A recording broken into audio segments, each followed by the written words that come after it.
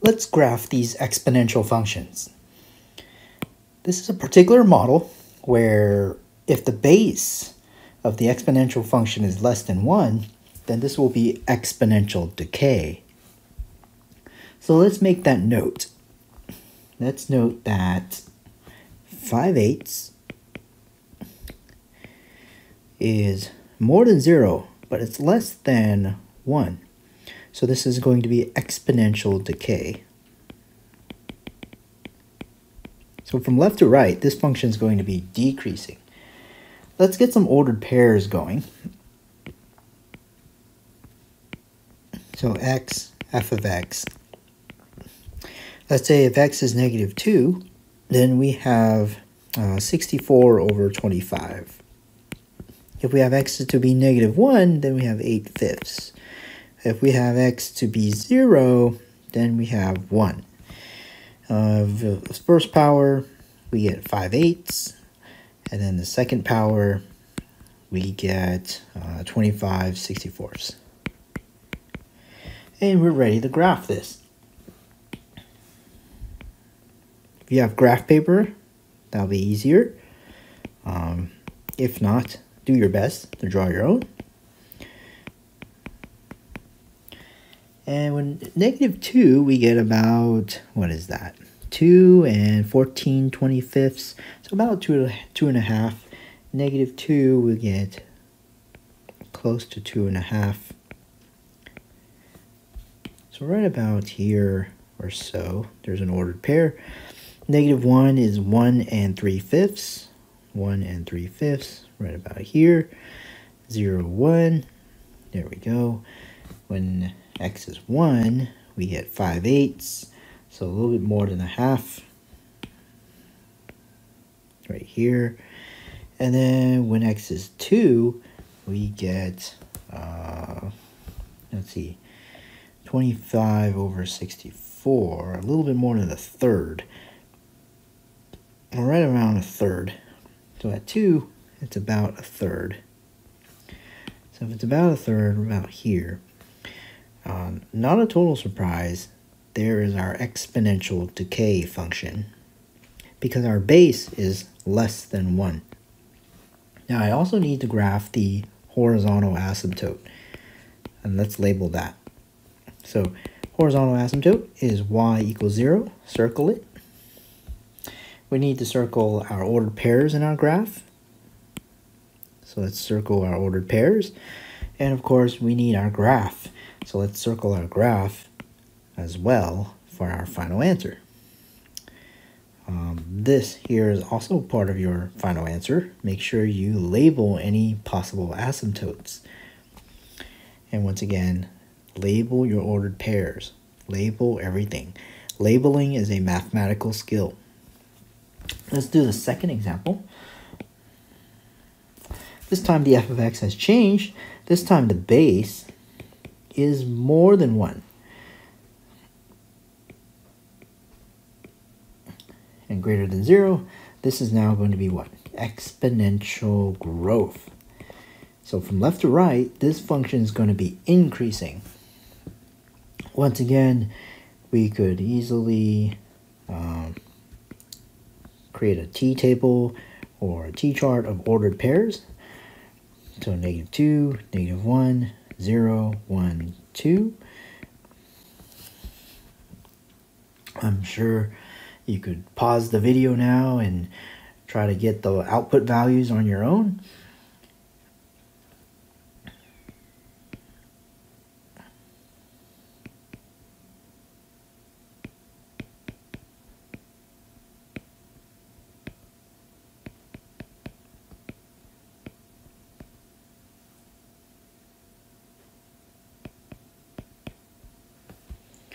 And now we simply plot the ordered pairs.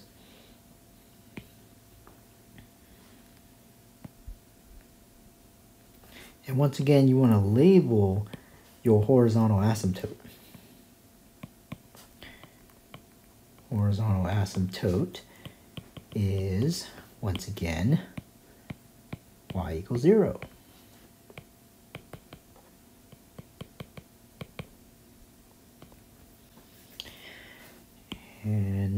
2, it's about a half.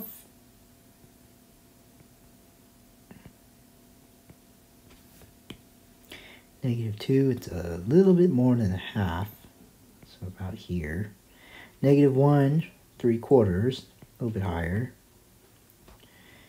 A 0, it's at 1, a little bit higher. 1, it's at 4 thirds. So when x is 1, we're at 1 and 1 third. A little bit higher.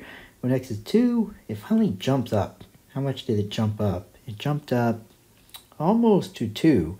It's actually 1 and a little bit less than 2. So it doesn't seem like it's growing that all that fast, but why don't you pick x to be 3 and see what happens? Then it's going to grow really, really quick. Uh, you get 64 over 27.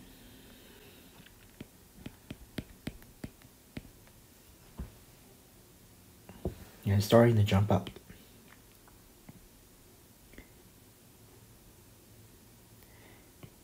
exponential growth. This is actually increasing from left to right. Let's circle all the things we need in our labeling of our graph. We need that. We need this as well.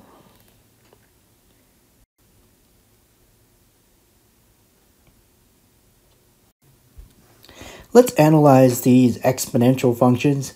We're going to go ahead and graph them. Uh, we're going to label our ordered pairs. We're also going to give its domain and range, and we're going to label the horizontal asymptote as well. Why don't we get some of these ordered pairs going? So this first example here, uh, let's have x and g of x, and let's figure out some inputs and outputs. Let's try negative 1 here. When x is negative 1, we get negative 1 half minus 1, so negative 3 halves. And then when x is 0, we get uh, negative 1 minus 1, which is negative 2. And then when x is 1, what do we get?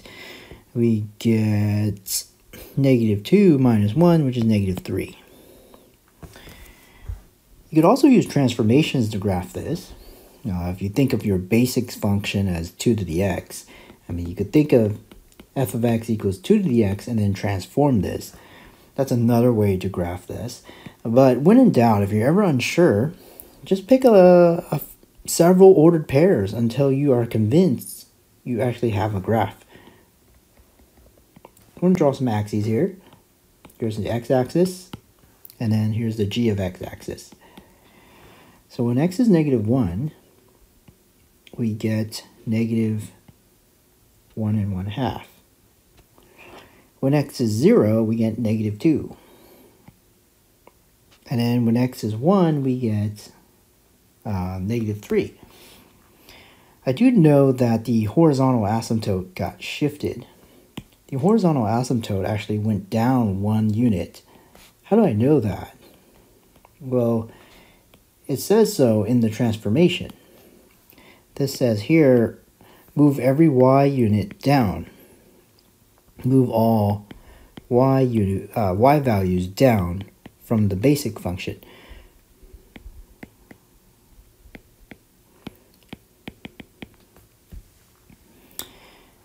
And now, instead of exponential growth, the y values also got reflected.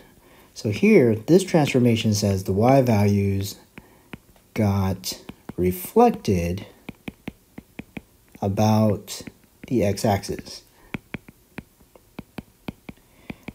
Let's plot some ordered pairs and see what this really means. Negative 1, 1 and 1, uh, negative 1 and 1 half. So negative 1, negative 1 and 1 half. There's an ordered pair.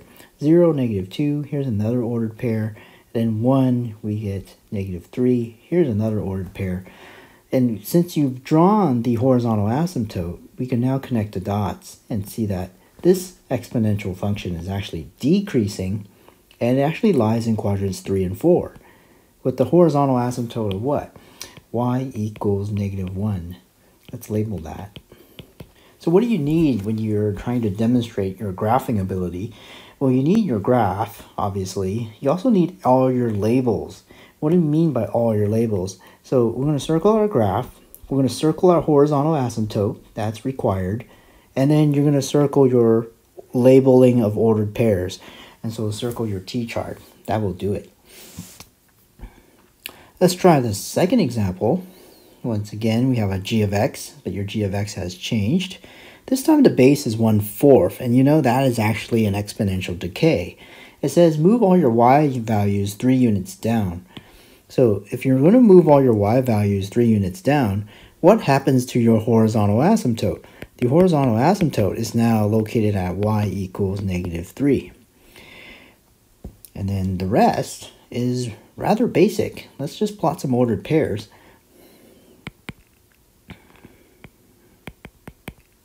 Let's label them.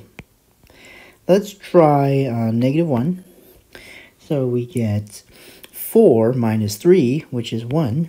And let's try 0 when x is 0. We get 1 minus 3, which is negative 2. And then when x is 1, we get 1 fourth minus 3. So 1 fourth minus, uh, 12 fourths is negative 11 fourths. Negative 11 fourths. So that is 2 and 3, negative 2 and 3 fourths right? Almost negative 3. Let's plot these ordered pairs and see what happens. We're also going to plot the horizontal asymptote, and we're going to label that as well. Once again, x and a g of x axis. Uh, negative 1, 1. Negative 1, 1. 0, negative 2. And then 1, we have negative, uh, 2 and 3 quarters. So I'm going to need the negative 3 here. 2 and 3 quarters right about here. Then we have another order pair here. Uh, then we have negative 1 and 1 here. And we also need to graph our horizontal asymptote. So this is really key. Probably should have graphed that first. Uh, horizontal asymptote is y equals negative 3. This is an exponential decay, and all the y values got shifted 3 units down from its basic graph. Its basic graph was, uh, let's say the basic graph was h of x equals 1 quarter as the base, and then raised to the x power. That is actually decreasing from left to right. So with that, subtract 3 to every single y value, this means it moved your basic graph down three units. Let's connect the dots and see the exponential decay. There it is. Boom. Make sure you draw your arrows at the end so it matches your domain and range. Ah, speaking of which, I'm supposed to write the domain and range for all these problems. Let's do that. The domain of G here is equal to negative infinity to infinity. And then let's look at the range. Let's label the range. The range, remember, uh, if you turn your head 90 degrees to your left, you could probably spot out the range. The range of G, I'm going to uh, write it this way. I'm going to write negative 3 in parentheses up to infinity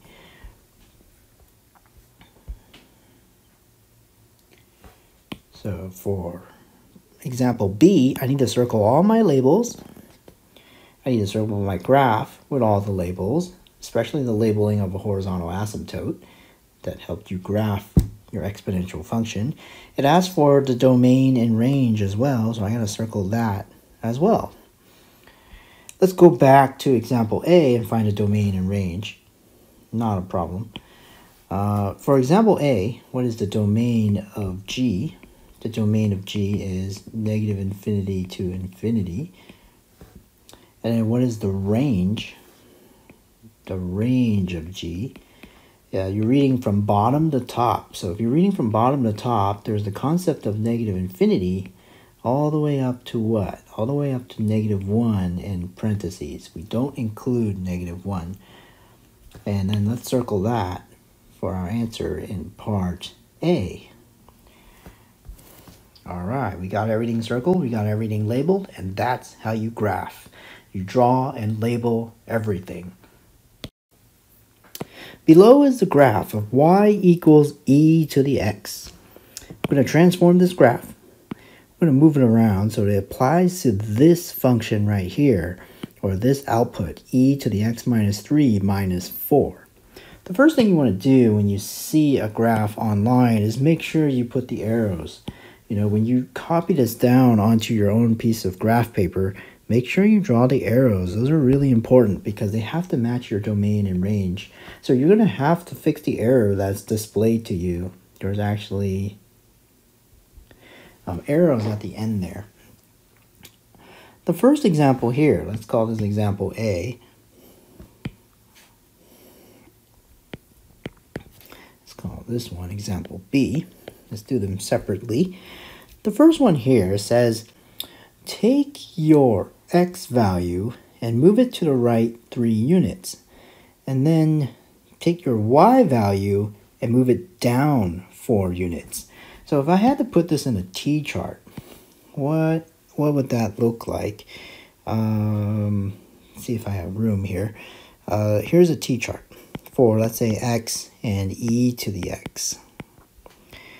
And if you let's if you want to inspect when x is 0, y is 1, right? What if you decide to do something like this? What if you had x and now your output is what? e to the x minus 3 uh, subtract 4. So this says take your x value and move it to the right 3 units. So this should be a 3. And then take your y value and move it down 4 units. So this should be negative 3. Let me make that clear. This is x e to the x minus 3 minus 4. How did I get the negative 3? I looked at the previous number up here. It says take the 1 and subtract 4 units from it. So take the 1, take the y value of 1, and then subtract 4 units of it, you'll get negative 3.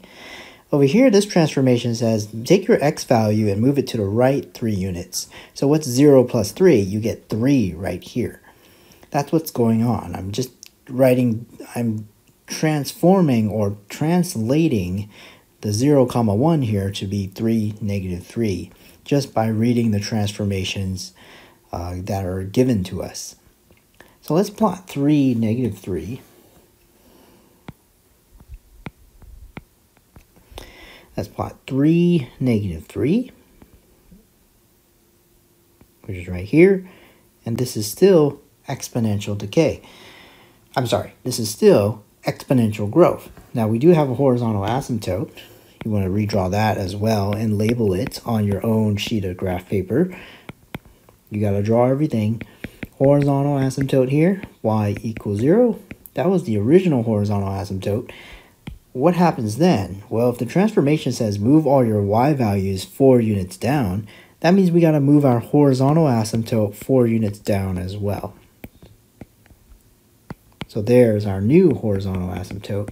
That's the one I'm going to circle. That's the one I'm going to label. That's the one I need. And now I'm ready to play connect the dots.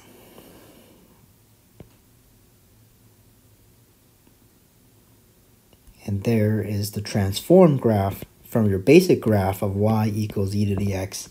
We have our new graph right here. We have this graph. We're going to circle our ordered pairs. In this case, I only plotted one. Uh, then of course we need to circle our final graph with the horizontal asymptote labeled. Bam, there it is. All right, what about the second graph here? Once again, you start off with e to the x. And this time, you know, you have x, you have x, uh, e to the x, and once again, we started off with 0, comma 1. The first transformation says take all your y values and move it across the x-axis, which means your original y value was 1, now gets moved to negative 1. But then it also says to what? Add 3 to everything. So what happens to this x and then opposite of e to the x at 3? So all the, both transformations here affect the y value. So the x value doesn't move. It actually stays the same.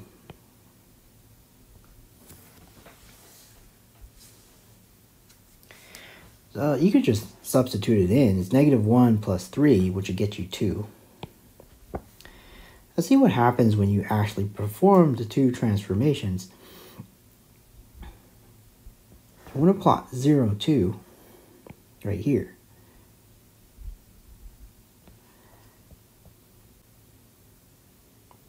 And that means your horizontal asymptote has changed as well. Your horizontal asymptote went up three units. So I'm going to draw this here. We're going to need to label that uh, y equals 3 as our horizontal asymptote. And now this is, instead of,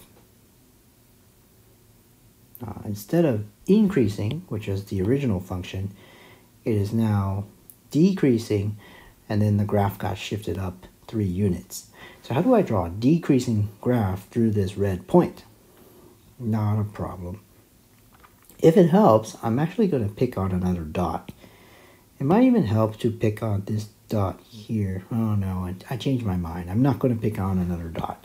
I'm simply going to make this a decreasing exponential function. There it is. All right, we're going to circle our ordered pair. We're going to circle our graph and our labeled horizontal asymptote. Now I need to go back and finish these problems.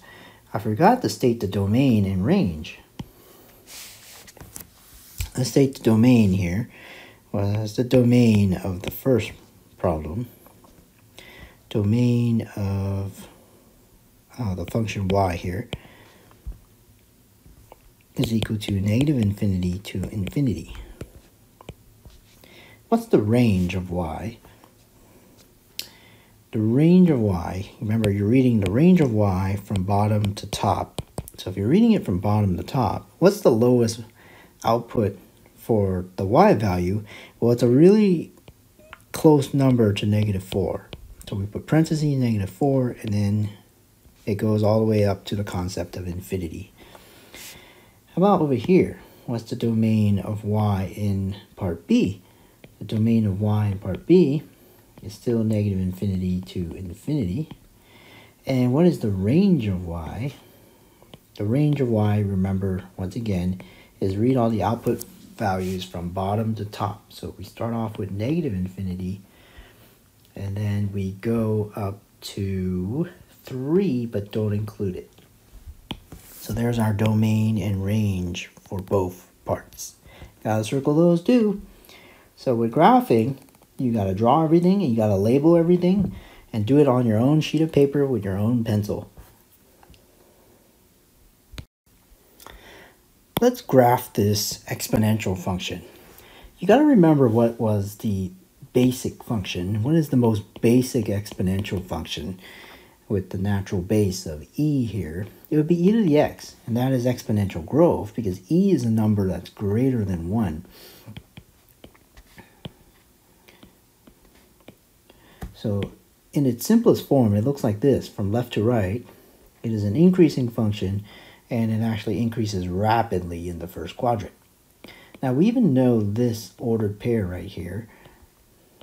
That ordered pair is 0, comma 1. Now what we're going to do is move this function around by looking at transformations. And if you're not familiar with these transformations, you could always pick ordered pairs. You could always pick inputs and outputs, and that's always a, a decent approach. Uh, let's find some inputs and outputs. Let's try uh, x and g of x. x is, remember, is your input. Um, let's try negative 2. So if you pick negative 2, when x is negative 2, we get 1 over 2e minus 3. We get 1 over 2e minus 3. So that's something like uh, mm, close to negative 3, but not quite, right? This is close to negative 3, but a little bit less than negative 3 in magnitude. And what happens if you pick x to be negative 1? When x is negative 1, hmm, we get e to the 0 power, which is 1. So 1 half minus 3. What's 1 half minus 3? Uh, negative 5 halves. What happens when x is 0? Hmm, when x is 0, we get 1 half times e uh, minus 3. So we get 1 half times e minus 3. Now, remember, e is about 2.78. So a little bit more than 1 and then subtract 3. So that's about negative 2. And I think this is enough to get a pretty decent graph.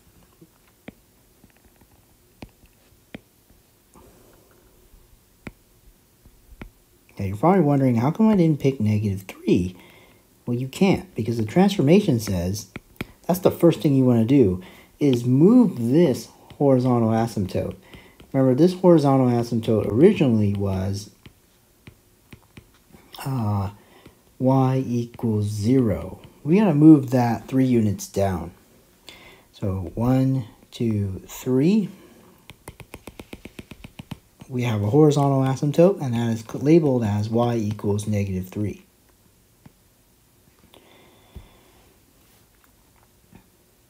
Let's plot some ordered pairs.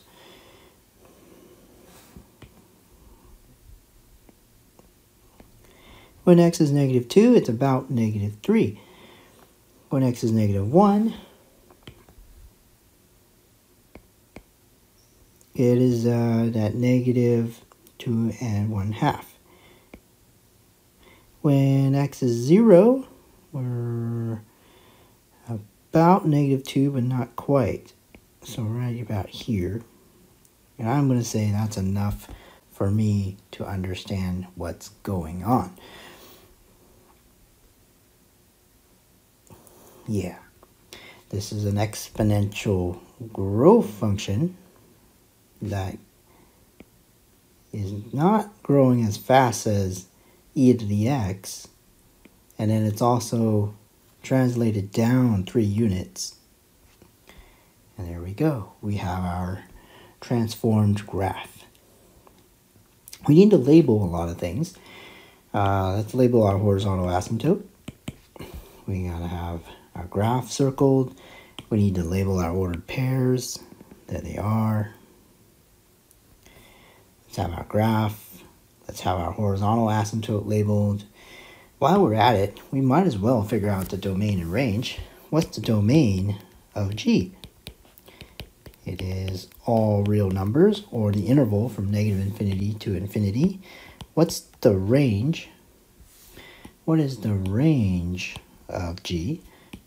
Let's see here. Let's look at the range of g. Remember the range of g, you're reading from bottom to top. If you're reading from the most bottom output value, we could start at parentheses negative 3 and then go to the concept of infinity. If it helps, turn your head 90 degrees to your left, and you might be able to see the range.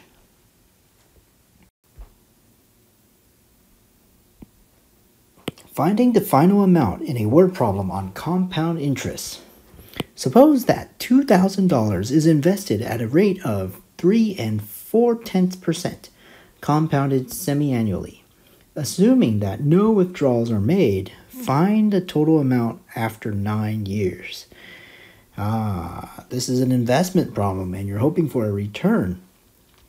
Do not round any intermediate computations. Round your answer to the nearest cent. This is a famous formula for finite number of compounds.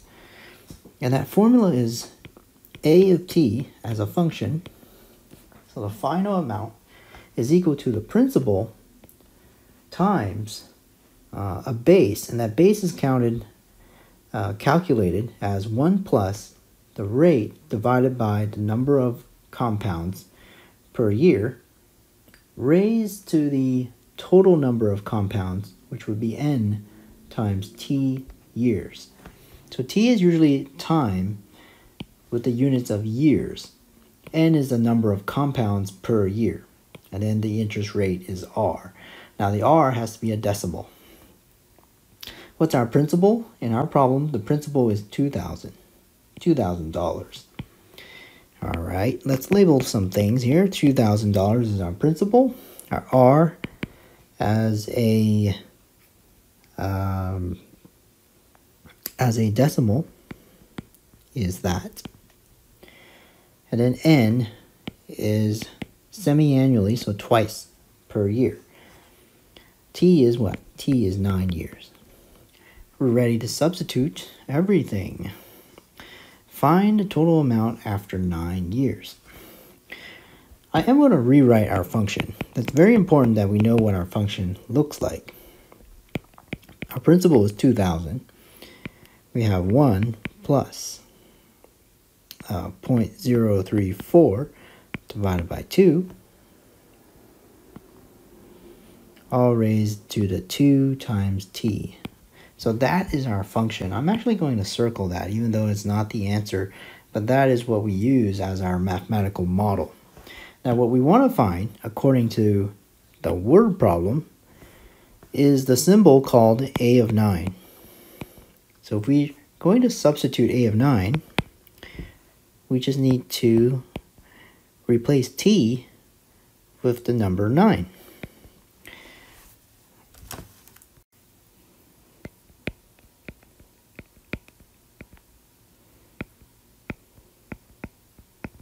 And then simply take your calculator.